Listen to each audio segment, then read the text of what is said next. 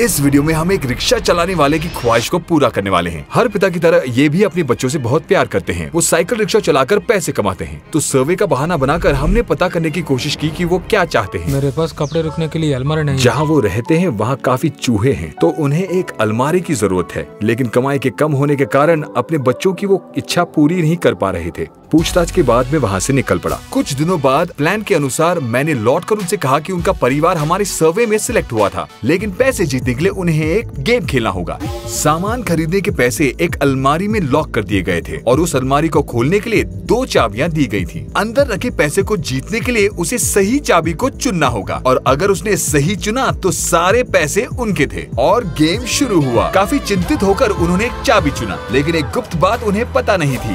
दोनों चाबियाँ अलमारी को खोल सकते थे।